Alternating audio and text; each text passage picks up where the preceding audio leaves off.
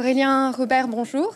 Bonjour Marion Bourbon. Vous êtes directeur de recherche au CNR, spécialiste de l'histoire de la philosophie médiévale et renaissante au laboratoire Sphère de l'Université de Paris, ex-Université Paris 7. Vous avez reçu la médaille de bronze du CNRS en 2019 et vous avez publié un grand nombre de travaux sur la philosophie médiévale et en particulier euh, sur l'hybridation des savoirs entre philosophie, médecine et théologie. Nous vous recevons aujourd'hui euh, pour le passionnant livre que vous publiez chez Fayard Histoire, intitulé Épicure aux enfers, hérésie, athéisme et hédonisme au Moyen Âge. Alors peut-être pour commencer, pourriez-vous nous dire quelques mots sur ce qui vous a conduit à travailler et à écrire sur cette figure d'Épicure? Oui, bah, c'est vrai qu'au départ, c'est pas vraiment ma, spécialité. Je travaille sur la philosophie médiévale en général, et euh, on a tendance à, penser qu'Épicure n'y a pas sa place. Moi-même, je pensais ça au départ, mais depuis une quinzaine d'années, je travaille sur un, sujet en particulier qui est l'atomisme au Moyen Âge, c'est-à-dire les théories qui considèrent que tout ce qui nous entoure, où les corps sont constitués d'atomes, de parties euh, indivisibles. Donc ça, c'est un de mes sujets de recherche principaux. Et euh, évidemment, comme Épicure lui-même défendait ce genre de, théorie dans l'Antiquité, euh, j'ai été amené à me demander, d'abord, est-ce qu'on connaissait Épicure? Qu'est-ce qu'on connaissait de, lui, de sa pensée, de sa philosophie? Et est-ce que cet atomisme médiéval, finalement, reprenait euh, d'une manière ou d'une autre celui euh, des anciens? Donc Épicure n'était pas le seul, hein, Démocrite avant lui, le Leucippe, Épicure et après lui à Rome, Lucrèce. Donc voilà comment j'étais amené en fait par l'atomisme à, à Épicure. Et j'ai rapidement fait le constat que l'atomisme médiéval n'avait rien à voir avec celui d'Épicure, ce qui m'a intrigué. Euh, et donc j'ai continué à chercher tout ce qu'on pouvait savoir, trouver sur Épicure, et c'est ce qui a donné ce, livre. Alors, votre livre construit, vous venez d'en dire quelques mots, euh, sur un temps long, l'histoire tourmentée donc de la réception euh, de la figure d'Épicure, pour lui redonner toute sa richesse, toute sa complexité. Et vous retracez donc l'histoire euh, de la construction de ce double discours, on pourrait dire, par lequel Épicure s'est trouvé tour à tour et parfois en même temps érigé en figure repoussoire ou au contraire en modèle de sagesse. Euh, vous déconstruisez ainsi euh, l'idée que le mérite de la redécouverte d'Épicure reviendrait aux humanistes italiens en particulier. En d'autres termes, vous montrez que le retour d'Épicure à la Renaissance est un mythe? Oui, d'une certaine manière. En tout cas, quand j'ai commencé à travailler sur ce sujet, je me suis rendu compte que la plupart des choses qui avaient été écrites, disons, au sujet de la réception d'Épicure, répétaient le même discours qui consiste à attribuer le, le retour d'Épicure sur la scène philosophique aux humanistes, et en particulier à un humaniste, euh, Poggio Bracciolini, qui, lors d'un voyage en Allemagne au début du XVe siècle, euh, a ramené en Italie un manuscrit de Lucrèce, donc du, un disciple d'Épicure, euh, romain, un manuscrit donc de son poème Le De Natura Rerum, de la nature des choses. Et donc c'est à partir de ce moment-là qu'on aurait redécouvert la pensée d'Épicure. Et alors tout le monde le répète depuis le 19e siècle au moins, et récemment encore, euh, Stephen Greenblatt en a fait un récit passionnant, d'ailleurs très, euh, très bien construit. Donc c'est vraiment la, vulgate, je vais dire, euh, pour la réception d'Épicure. Or, je me suis rapidement rendu compte que bien avant le 15e siècle, on parle d'Épicure, beaucoup même, comme vous l'avez dit, parfois négativement mais j'essaie de montrer que ce n'est pas le propre du Moyen Âge, c'est un discours qui existe depuis l'Antiquité et qui continue bien au-delà de la Renaissance d'ailleurs. Euh, je, cite un passage du Don Juan de Molière, par exemple, où, euh, Don Juan d'épicuriens hérétiques. Euh, donc toute la question pour moi était de comprendre euh, ce qui s'était passé avant cette redécouverte de Lucrèce, pour essayer de cerner disons, la spécificité du discours médiéval, s'il en est une, euh, sur Épicure. Donc, oui, il y a quelque chose du mythe pour répondre à votre, question, euh, même s'il ne faut pas totalement nier l'impact qu'a eu Lucrèce à partir du XVe siècle. Il y a eu des commentaires de Lucrèce au XVe siècle, au XVIe siècle, et c'est un auteur qui a eu une, importance, mais euh, disons sur le temps un peu long aussi. C'est surtout au XVIIe siècle, je dirais, que la vraie rupture s'opère avec Pierre Gassendi et d'autres, où là on a des gens qui se revendiquent vraiment épicuriens. Mais, euh, mais moi, moi, mon livre se concentre sur la période qui, qui, précède la réception de Lucrèce. Alors, vous avez d'ailleurs donné à, pour titre à votre livre euh, Épicure aux enfers. Est-ce que vous pourriez revenir euh, brièvement sur le sens de ce titre qui se réfère donc à la manière dont chez Dante Épicure se trouve placé au sixième cercle des enfers et il y a là une exception précisément. Oui, alors j'ai choisi ce, titre et même la couverture du livre est une, illustration justement de la Divine Comédie, de l'enfer de Dante, parce que quand j'ai commencé cette enquête sur la réception d'Épicure, j'ai été frappé en effet de voir le, sort qui est réservé à Épicure dans la Divine Comédie, qui est un monument évidemment de la culture euh, médiévale, enfin du XIVe siècle, parce que c'est le seul philosophe finalement antique euh, qui n'est pas dans les limbes.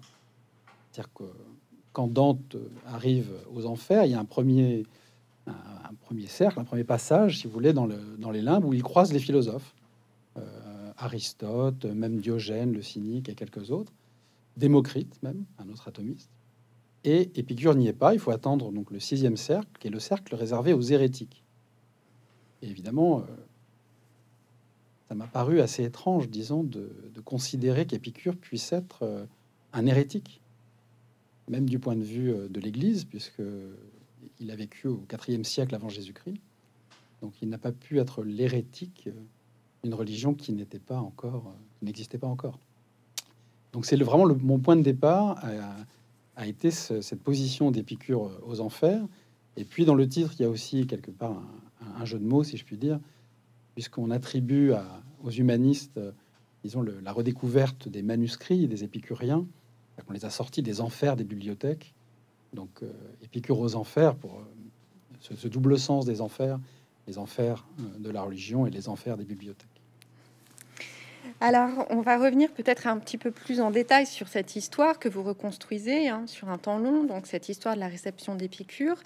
Et euh, on va peut-être s'arrêter sur quelques épisodes euh, qui scandent cette histoire, en tout cas que, vous mettez en évidence.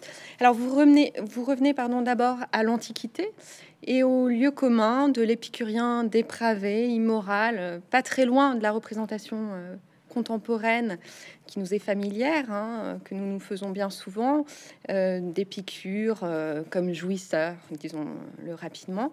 Et vous montrez que cette figure euh, de l'épicurien, elle est très ambivalente déjà dans l'Antiquité?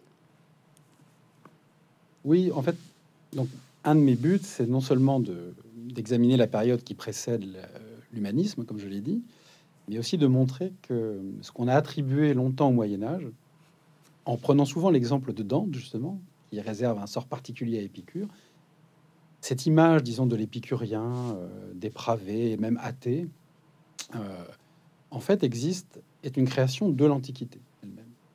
Alors j'essaie de montrer, en effet, vous dites qu'il y a une ambivalence, disons, de la figure de l'épicurien.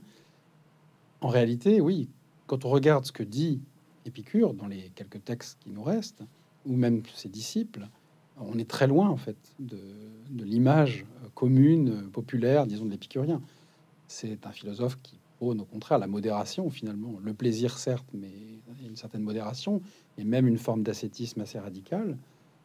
On le traite d'athée, mais en réalité, il dit que les, yeux, que les dieux existent euh, et qu'il faut même euh, en faire des modèles, puisque eux-mêmes sont sans trouble, paisibles. Euh, certes, ils n'interagissent pas avec les hommes, ils vivent dans un monde séparé, mais ils sont des modèles pour les hommes.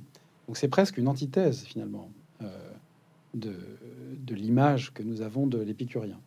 Et Diogène Laërce, qui dans ses vies et doctrines des philosophes illustres, euh, consacre le dernier livre, le livre 10, à Épicure. Et euh, il raconte finalement que très tôt, euh, on a calomnié Épicure. De son vivant, sans doute déjà, on le traitait, disons, de, tous les noms. Donc, ce que je voulais montrer, c'est contre l'image d'un Moyen Âge obscur qui aurait créé dans cette étiquette de l'épicurien dépravé, etc. Non, c'est un héritage de l'Antiquité. Et ce qui m'a intéressé, c'est plutôt de savoir ce qu'en a fait euh, le Moyen Âge. Quel usage on a fait de ces images qui ont circulé. Alors, la vraie nouveauté hein, sur laquelle vous insistez, euh, c'est celle à partir du deuxième siècle, de la naissance euh, de ce que vous appelez dans votre livre la figure euh, de l'épicurien hérétique. Alors, est-ce que vous pourriez revenir pour nos lecteurs sur cet épisode, nous dire quelques mots sur ces traditions hérétiques et sur ce télescopage qu'elles opèrent à cette période avec les écoles philosophiques, puisque vous le montrez aussi, à l'époque, l'épicurisme est encore actif? Oui, bah, comme je suis parti de cette euh, idée qu'on trouve chez Dante d'un épicure ou d'un épicurien euh, hérétique au sixième cercle donc de, l'enfer, essayer de faire une généalogie, disons, de, cette représentation de l'épicurien comme hérétique. Et je pensais pas aller si loin au départ, mais je suis remonté en effet à la naissance même de l'idée euh, d'hérésie au sens religieux, qui, disons, se forme véritablement au premier siècle, disons, de notre ère, c'est au tout début du, christianisme. En fait, le terme grec qui a donné le mot hérésie ou hérétique, aérésis, en fait, est un terme qui était déjà employé avant, bien sûr, mais qui désignait des groupes, des écoles, des sectes philosophiques, et qui n'avait pas la connotation religieuse euh, qu'on lui connaît euh, ensuite, donc dans le premier christianisme au Moyen Âge et même encore aujourd'hui.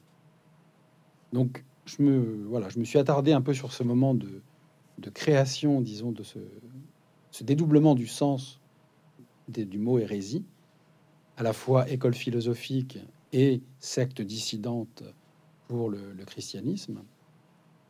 Et je me suis rendu compte qu'à cette période précise, euh, on voit se, dessiner, disons, un amalgame, pourrait-on dire, euh, entre les deux sens.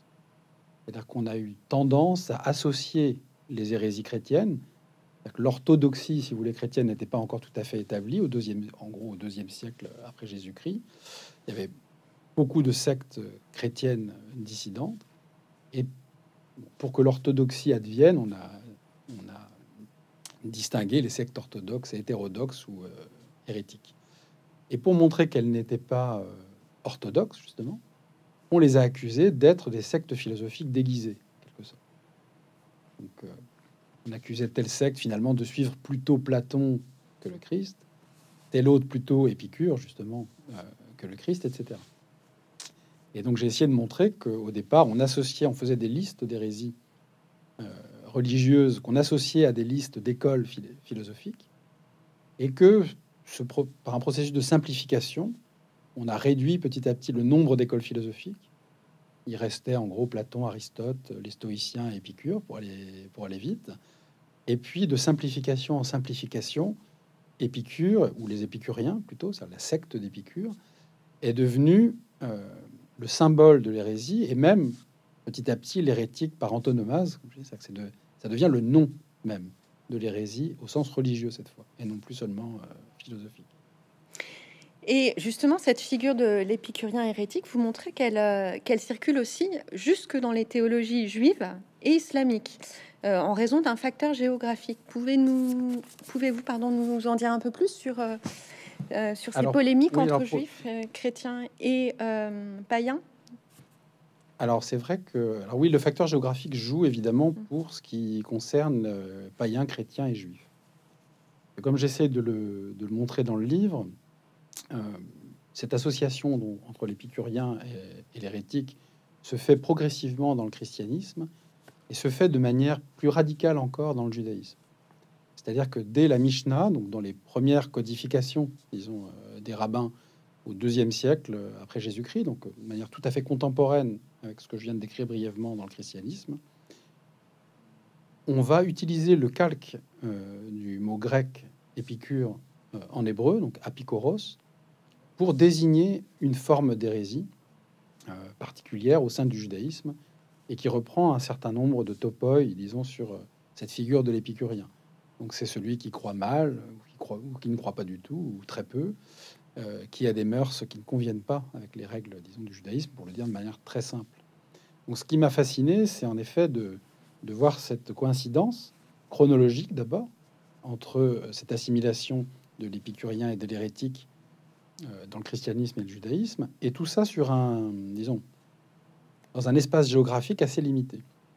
C'est-à-dire qu'en gros, à cette époque, au deuxième siècle après Jésus-Christ, les épicuriens qui existent encore, l'école est encore en vie, mais de manière assez faible à Athènes et de manière générale en Grèce, de manière assez faible aussi à Rome, où elle avait pourtant eu un moment de grâce. On, a parlé de Lucrèce tout à l'heure, mais euh, on sait qu'on a retrouvé la grande bibliothèque, disons, des, des, papyries euh, d'Épicure euh, à Herculanum, ensevelis sous les cendres de l'éruption du Vésuve. Donc il y avait de grands centres épicuriens en Italie. Mais au deuxième siècle après Jésus-Christ, les épicuriens se situent, disons, dans un arc qui irait de l'actuelle Turquie jusqu'à l'Égypte on a retrouvé euh, des traces, disons, d'épicuriens dans toute cette zone géographique. Et c'est précisément la zone euh, géographique où euh, les débats étaient intenses entre païens, chrétiens et juifs.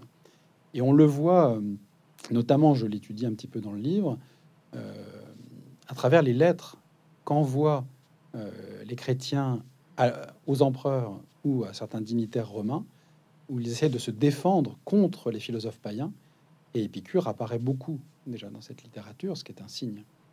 Euh, alors pour ce qui concerne l'islam, vous avez mentionné l'islam, évidemment, ça vient plus tard. Et géographiquement, on est un petit peu décalé en Orient encore, hein, d'un cran. Et le cas est un peu différent, mais ce qui m'a fasciné, c'est qu'on retrouve une catégorie d'hérétiques qui est structurellement la même que l'apicoros, disons, de la tradition rabbinique, ou de l'épicurien hérétique de la tradition chrétienne. Il n'emploie pas le mot épicurien, contrairement à la tradition chrétienne et à la tradition juive.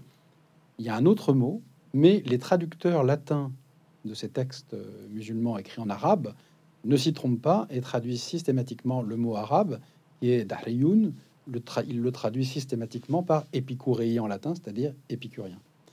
Donc ce qui m'a fasciné, c'est cette euh, tendance des trois grands monothéismes à construire une même figure finalement euh, de, l'hérétique, euh, avec un usage, disons, de thèses philosophiques, et qui sont reliées de manière assez lointaine parfois avec Épicure lui-même, mais qui correspondent à l'image qu'on avait de l'épicurien. Alors, autre euh, grand moment euh, de, votre histoire, vous montrez qu'il y a persistance de ce courant anti-épicurien, justement, dans le christianisme médiéval et qu'il existe toute une tradition de prédication anti-épicurienne au sein de laquelle l'épicurien représente la figure du philosophe à convertir au christianisme, justement. Alors, pourriez-vous revenir euh, sur cet usage médiéval euh, de la figure d'Épicure et sur, euh, sur sa spécificité, celle que vous avez mentionnée justement tout à l'heure? Oui, je, pense qu'il faut. J'essaie dans le livre de distinguer, disons, deux, deux aspects. C'est-à-dire d'abord comment a été construite cette figure au Moyen Âge, sur les restes, disons, de, de l'Antiquité, du premier christianisme, cette figure de l'épicurien qui est athée, hédoniste et hérétique. Et j'essaie de montrer que on a, on a associé l'épicurien à des figures bibliques euh, très connues, euh, que tout le monde pouvait reconnaître. C'est par exemple celui qui, dans l'Épître aux Corinthiens, dit Mangeons et buvons, car demain nous mourrons. Tous les toutes les gloses de la Bible, les commentaires bibliques du Moyen Âge, indiquent en marge du texte biblique, voilà, lui c'est l'épicurien. Autre texte, euh, dans les psaumes, on a cette figure de l'insensé qui dit Dieu n'existe pas, donc l'athée. Là aussi, les gloses, et au Moyen Âge, on ne lit pas la Bible sans les gloses, les Bibles quasiment sont glosées. On voyait donc en marge, voilà, cet athée, c'est l'épicurien. Autre texte, l'Ecclésiaste, tout est vain, donc autant se laisser aller au plaisir, puisque tout va disparaître, etc. Là encore, les commentateurs disent voilà l'épicurien pourquoi ce détour par le, ce que j'appelle le portrait biblique de l'épicurien? C'est que euh, du coup, c'était très facile d'utiliser euh, cette figure qui mêlait une figure de philosophe antique avec des figures bien identifiées euh, dans la Bible, dans la prédication, c'est-à-dire dans les sermons adressés au peuple. L'idée étant que le peuple se reconnaisse, reconnaisse d'ailleurs d'abord le personnage, bah, par la fréquentation de la Bible, bien sûr, mais se reconnaisse aussi lui-même et puisse, disons, pour le dire euh, à la manière de Jean de Lumeau, c'est-à-dire qu'il y a une sorte de, rhétorique de la, peur. En tout cas, il fallait qu'il se reconnaisse dans ce personnage pour avoir peur de subir les châtiments qui lui sont réservés, à savoir euh, les enfers. Donc, il y a, vous voyez, dans le livre, donc je, veux, je, ne veux pas cacher cet aspect de la réception médiévale, il y a un discours négatif sur, non pas tant sur Épicure lui-même d'ailleurs que sur les épicuriens, sur la secte en fait. Le problème, c'est d'être épicurien après la révélation, euh, alors que par la Bible, on peut reconnaître que ce personnage est à, condamner ou à convertir, du moins, comme vous l'avez dit. Donc, euh, et donc, j'essaie de montrer quelques exemples de ces sermons. Ils prennent souvent modèle sur un, sermon de saint Augustin qui euh, reprend le thème de Paul allant prêcher aux épicuriens et aux stoïciens sur l'agora d'Athènes, euh, comme nous le racontent les actes, les actes des apôtres, pardon. Et donc voilà, Augustin a fourni un modèle à la prédication médiévale qui va être suivi par de nombreux prédicateurs. Et à mon sens, on parlait tout à l'heure de l'usage de l'épicurien. Voilà un usage typiquement médiéval, la multiplication d'une parole publique adressée au peuple, euh, une pastorale de la peur, comme le dit Delumeau, et qui va avoir pour effet de populariser cette image qu'on a encore aujourd'hui de l'épicurien jouisseur, etc. Donc le, Moyen Âge a eu, entre autres choses, ce, rôle-là. Et c'est donc dans cette lignée euh, qu'il faut réinscrire euh, l'aspect anti-épicurien euh, du discours de Dante, selon vous? Oui, ben, c'est en tout cas une hypothèse que je fais dans le livre. Mmh. C'est-à-dire que pour comprendre comment le, le, texte de Dante dit Épicure et ses sectateurs, ceux qui sont en enfer et qui font mourir l'âme avec le corps. Donc, peut-être n'est-ce pas tant Épicure qui est dans ce sixième cercle que ses sectateurs, que la secte, que les hérétiques. Et, il me semble qu'on peut considérer la Divine Comédie comme une, grande fresque qui serait une forme de prédication laïque, puisque Dante est un, laïque, euh, mais, mais, tout de même, mais ça vient cette fonction-là, entre autres choses. Et donc oui, j'essaie d'inscrire Dante pour mieux comprendre le sort qu'il réserve à Épicure, non seulement dans cette longue tradition que je viens d'esquisser, mais dans cet acte euh, qui est un acte donc de, prédication d'une certaine manière. Alors, vous montrez euh, que néanmoins, dès le XIIe siècle, euh, la réception d'Épicure connaît un tournant décisif avec l'apparition de discours beaucoup plus valorisants qui vont parfois d'ailleurs jusqu'à représenter Épicure comme un modèle de sagesse chrétienne. Euh, pour reprendre votre titre, Épicure va être peu à peu sorti des enfers. Alors, est-ce que vous pouvez revenir sur cette réhabilitation et sur euh, les auteurs qui en sont à l'origine? Oui, bah moi, c'est ça qui m'a fasciné. D'ailleurs, c'est, l'hypothèse centrale du livre c'est qu'il faut distinguer la réception d'Épicure, le philosophe antique, de la réception de la figure de l'épicurien, celle qu'on trouve justement dans la prédication. Donc il y, a, bien un double discours euh, au Moyen Âge, un discours euh, plutôt négatif qui vise euh, l'épicurien, c'est la prédication, et on s'est souvent arrêté à ce discours, d'où la thèse sur laquelle il faut attendre la Renaissance pour une redécouverte d'Épicure, alors que dans l'ombre finalement de cette littérature très imposante, qui forme une grosse part de la littérature théologique médiévale, on trouve dès le XIIe siècle, en effet, un certain nombre de textes nettement plus euh, positifs, et même très positifs. Pour citer euh, quelques exemples, au XIIe siècle, Pierre Abélard, qui est connu, j'imagine, du, public, non pas pour ses œuvres de philosophe ou de théologien, mais pour sa belle correspondance avec Héloïse, histoire d'enseignement et d'amour connue de, tous. Mais euh, quand on se penche sur ces œuvres euh, philosophiques, on est stupéfait, je dois dire, de voir le traitement qu'il réserve à Épicure. Il y a même un, moment, donc, dans un dialogue entre euh, un, de ses œuvres qui s'appelle Dialogue entre un philosophe, un juif et un chrétien, il dit que ce qu'Épicure appelle le plaisir est finalement la même chose que ce que les chrétiens appellent la béatitude dans les cieux qu'être euh, surpris, disons, d'une telle association qui va totalement à l'encontre, disons, de, tout ce que je viens de dire avant, c'est-à-dire ce, cet épicurien dépravé, athée, etc. Donc Pierre Abélard et, euh, et d'autres, je mentionne dans le livre Guillaume de Malmesbury, par exemple, qui est un, un, bibliothécaire anglais qui a un chasseur de manuscrits, qui a cherché des, des manuscrits partout et qui a écrit des florilèges de citations antiques et lui aussi donne un portrait tout à fait positif d'Épicure. Et troisième personnage qui m'a intéressé, Jean de Salisbury, qui lui m'a intéressé parce que chez lui, on a vraiment le, double discours.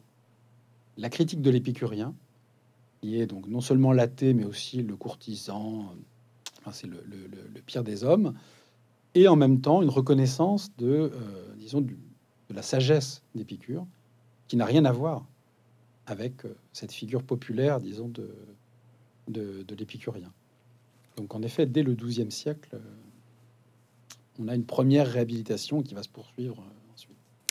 Justement, cette réhabilitation, on la trouve, vous le montrez aussi dans ce qu'on appelle les recueils des vies de philosophes. Alors, pourriez-vous nous dire quelques mots sur ce genre et que trouve-t-on justement comme vie d'Épicure à cette époque?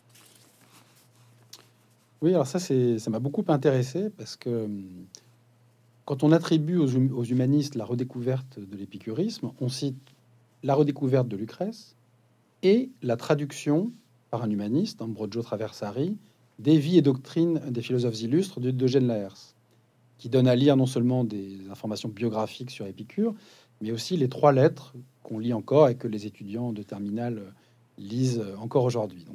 Traduction latine en 1433 en Italie.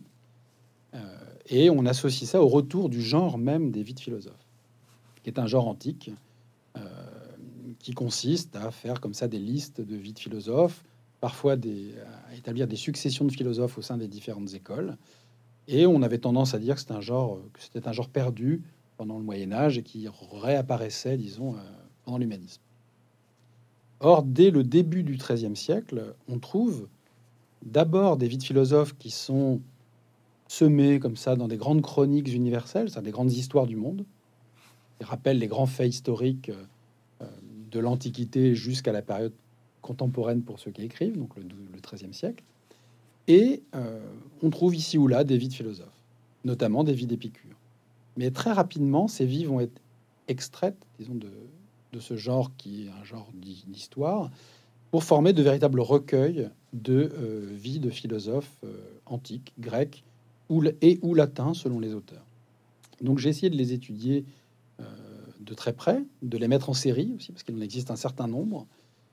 Et là aussi, j'étais tout à fait surpris de, de, voir ce qui émanait, disons, de ce patchwork de, de citations glanées dans des autorités, soit des pères de l'Église, soit chez Cicéron, Sénèque, au Lugel, ou en tout cas des auteurs de l'Antiquité euh, romaine pour la, pour la plupart. Et on peut lire en effet un portrait tout à fait positif euh, d'Épicure, un modèle de vertu, de sagesse, et qui est présenté comme tel, comme euh, en gros, il a fait des erreurs, mais c'est pas de sa faute, puisqu'il a vécu avant la révélation, donc il ne pouvait pas être un chrétien avant l'heure. En revanche, d'un point de vue éthique, il a une vie exemplaire, il a dit des choses surtout exemplaires. Et euh, la plupart de ses vies citent des maximes d'Épicure, extraites de, des lettres à Lucilius de Sénèque, euh, qui en compte plusieurs dizaines, et, euh, et, les mettent en série. Donc on a des recueils de maximes d'Épicure qui circulent dès le début du XIIIe siècle et qui vont comme ça circuler jusqu'au XVe siècle. Et, donc il me semblait vraiment important, disons, de rappeler ce fait et de décaler le regard de, deux siècles en quelque sorte. Oui. Donc les usages philosophiques de, cette figure euh, d'Épicure sont, sont, tardifs en fait. C'est ça que vous avez. Bah alors tardif, tout, tout est relatif. Plutôt ce qu'on dit d'habitude, c'est-à-dire euh, c'est pas le 15e, c'est le 13e siècle.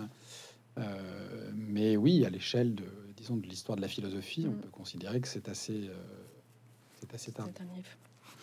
Alors nous en venons euh, désormais à la dernière partie euh, de votre livre, puisque vous montrez qu'à côté euh, de cette figure idéalisée de l'épicurien ascétique, on trouve encore une autre figure d'Épicure qui participe cette fois-ci d'un épisode que vous appelez le retour du plaisir.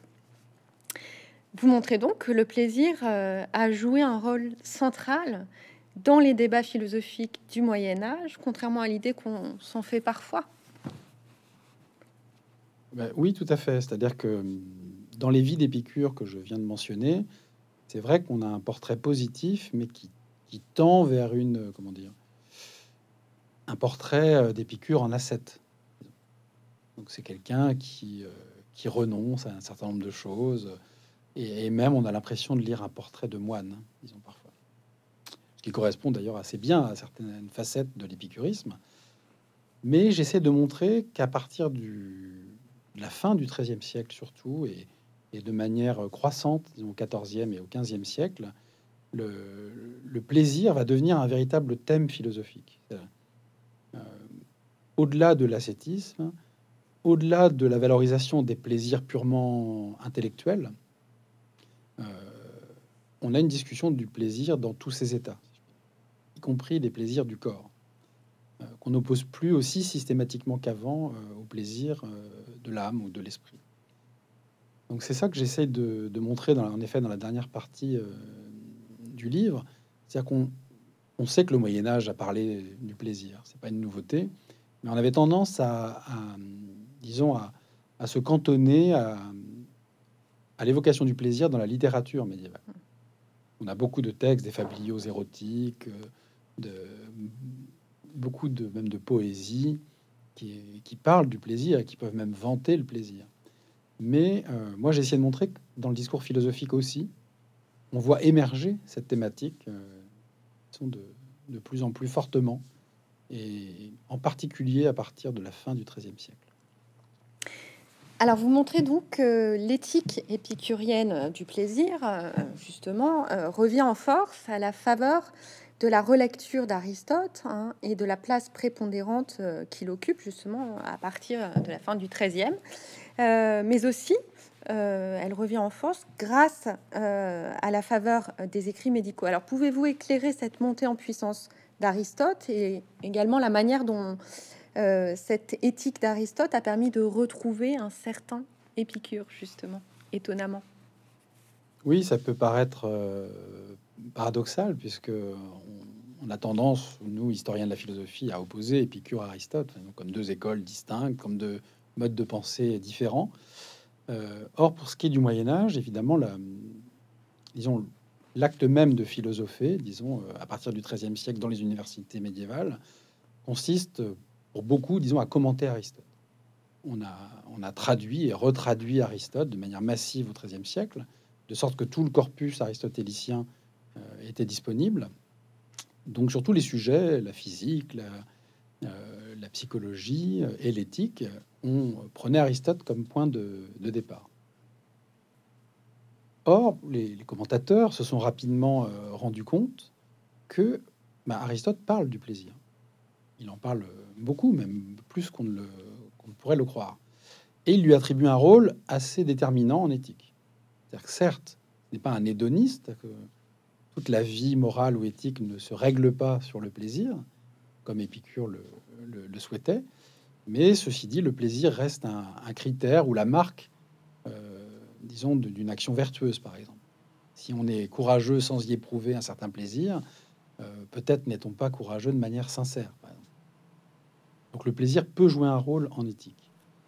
Et ce qui est frappant euh, quand on étudie cette réception d'Aristote, c'est qu'au même moment, de manière contemporaine, avec ces traductions du texte même d'Aristote, on traduit un certain nombre de commentaires byzantins, donc grecs, euh, dont certains montrent qu'ils avaient encore une connaissance dans le monde grec de l'éthique épicurienne.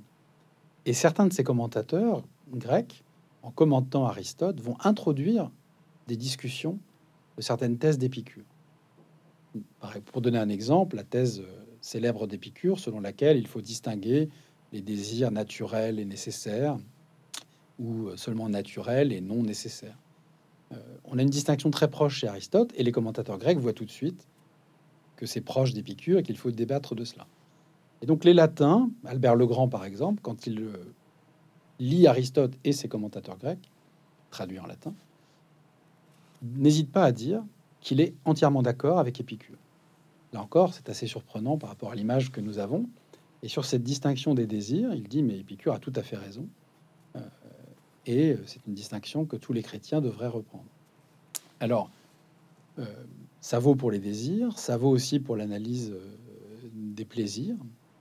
Donc j'essaie de montrer comment les commentateurs de l'éthique à Nicomaque, qui est le grand texte, disons, de philosophie morale d'Aristote, vont petit à petit être amenés à débattre aussi des thèses épicuriennes. Et quant aux médecins, là, c'est encore plus surprenant, si je puis dire. C'est-à-dire que les médecins aussi, il faut rappeler qu'à l'époque, à l'université, euh, selon les pays, mais par exemple en Italie, la faculté des arts et la faculté de médecine sont une seule et même faculté. Donc on étudie la philosophie et la médecine au même endroit. Euh, ce qui explique le caractère assez philosophique, disons, de certains textes médicaux. Mais euh, les médecins, qui étaient des grands lecteurs de Galien, donc ce, grand médecin de, de l'Antiquité, pouvaient lire dans, un, dans plusieurs de ces textes même que une critique d'Épicure. C'est-à-dire que Galien reprochait à Épicure d'avoir dit que le plaisir sexuel était euh, naturel, mais pas nécessaire, au sens où euh, c'est un plaisir qui est lié à notre nature, mais on doit pouvoir s'en passer. Donc là encore, c'est l'épicurien, l'épicure à 7, disons. Et Galien dit non, pas du tout, le plaisir sexuel, c'est un plaisir naturel et nécessaire. Donc on trouve dans les commentaires euh, de Galien de, longues discussions sur ce sujet, euh, et on va avoir une revalorisation du plaisir contre Épicure, de manière paradoxale. C'est-à-dire qu'on va, on va critiquer Épicure pour le dépasser, pour aller plus loin que lui, et redonner au plaisir sexuel, en l'occurrence, puisqu'il est question de plaisir sexuel, euh, toute sa place et toute sa valeur, surtout. Non seulement pour l'équilibre du corps, ça c'est la position du médecin, mais aussi pour l'équilibre de l'âme, ce qui est plus intéressant d'un point de vue philosophique, puisque euh, s'adonner au plaisir sexuel permettrait notamment d'éviter de, tomber dans certaines maladies de l'âme, comme la mélancolie. Ou l'amour, peut-être, en un sens. Alors euh, oui, voilà, c'est ce que j'essaie de, de, montrer aussi, c'est que paradoxalement, donc ces médecins, en critiquant Épicure, en viennent à défendre la position de Lucrèce. Mm puisque dans son célèbre poème euh, donc, euh, que j'évoquais tout à l'heure, qui est redécouvert véritablement au XVe siècle, on trouve cette idée que dans le phénomène amoureux, euh, ce, qui est, ce qui est le plus douloureux, disons, c'est la passion amoureuse, c'est l'amour et pas la sexualité. Et Lucrèce, d'ailleurs, de, demandait à, son lecteur de, de s'adonner pleinement au plaisir sexuel, mais de faire très attention à, de ne pas tomber amoureux. Et on trouve plus ou moins, des fois même très proche dans cette position chez, euh, chez les médecins italiens, notamment donc du, du 13e et 14e siècle. Donc là encore, un siècle avant la redécouverte euh, de Lucrèce. Et ça m'a particulièrement intéressé parce que dans l'histoire de la sexualité de Michel Foucault, par exemple, il faut dire que les deux grands absents, euh, selon moi, ce sont Épicure et le Moyen Âge, d'une certaine manière. Il parle très peu d'Épicure très peu du Moyen Âge, sauf dans les Aveux de la chair, le dernier volume, qui a été publié récemment. Et, donc c'était quelque chose qui était passé à, la trappe. Donc j'étais, euh, j'ai été surpris moi-même de découvrir ce, dossier médical, si je puis dire, de la redécouverte de l'épicurisme. Alors, au terme de cette histoire, on aurait envie de vous demander, euh, de vous poser la question que vous formulez vous-même dans votre livre et, que vous laissez ouverte. Pourquoi tenons-nous autant justement à cette relecture fantasmatique de notre passé humaniste? Et est-ce que vous auriez quelques pistes à, nous suggérer? C'est vrai que je pose moi-même la question en conclusion et je, laisse cette question ouverte en quelque sorte. J'y réponds pas vraiment dans le livre parce qu'il est très difficile, à mon avis, d'y répondre de manière univoque et définitive. C'est-à-dire, comme je l'ai dit au début, on répète cette histoire et on aime l'entendre. On aime euh, cette rhétorique, disons, de la rupture. Tout d'un coup, un manuscrit qui réapparaît au XVe siècle et le monde change complètement. Le monde devient moderne en quelque sorte, comme ça, par hasard, euh, grâce à l'arrivée de, Lucrèce. Alors c'est une belle, une belle histoire, en effet. Euh, elle est attirante, mais pourquoi on y tient tant? Bon, vous l'avez dit, on se sent plus proche, sans doute, des humanistes de la Renaissance que du Moyen Âge, parce que nous sommes victimes aussi des constructions historiographiques euh, très fortes qui ont été déconstruites par les historiens depuis longtemps, mais qui sont très fortes dans l'imaginaire. Euh, pour ce qui est du Moyen Âge, le Moyen Âge un peu sombre, gothique. Euh, pour ce qui est de la France, par exemple, nous sommes encore sous l'influence de Victor Hugo, de Jules Michelet, d'un Moyen Âge très fantasmé. Et, à l'inverse d'une Renaissance qui aussi, elle aussi, euh, notamment euh, en raison de la place qu'on donne à l'art de la Renaissance, qui est vraiment une révolution prodigieuse, disons, dans les domaines de l'art, on a tendance à penser que c'est un phénomène global et qui inclut le même genre de révolution dans la pensée et donc dans la philosophie. or, à mon avis, toutes ces visions radicales, disons, de rupture sont à nuancer très fortement. mais quant aux ressorts psychologiques, disons, pour lesquels ces histoires nous plaisent, je pense qu'il est difficile de, de, résoudre cette question de manière simple et univoque, une fois de plus. En tout cas, ce livre permet précisément de sortir du fantasme, peut-être, en, éclairant cette histoire. Et merci beaucoup pour, pour cet entretien.